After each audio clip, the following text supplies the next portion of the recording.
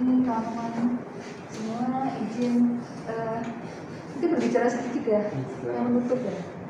Uh, saya ingin mengucapkan terima kasih atas kesediaan Bapak pembina narasumber dan teman-teman ini yang walaupun uh, di hari libur dia tetap masuk ya.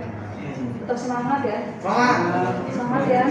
Semoga semoga apa yang kita dapatkan dari uh, sharingnya bapak-bapak di narasumber semoga kita bisa aplikasikan di, di puskesmas. Tapi dengan apa ya? Dengan motivasi, dengan kesungguhan, eh, ya mudah-mudahan eh, bisa lebih maksimal lagi dan kerjasama kita Pak bisa mungkin kalau ada pelatihan atau apa atau ilmunya jangan lupa sini bisa ada pertanyaan kami dari puskesmas tolong dibantu jawab ya Pak.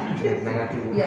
Mungkin teman-teman juga kalau ada yang mau nanya sama narasumbernya mungkin masih bisa ya Pak ya. Bisa. Kalau bisa Ah, Cuma ada yang bingung di teman-teman balik ke puskesmas.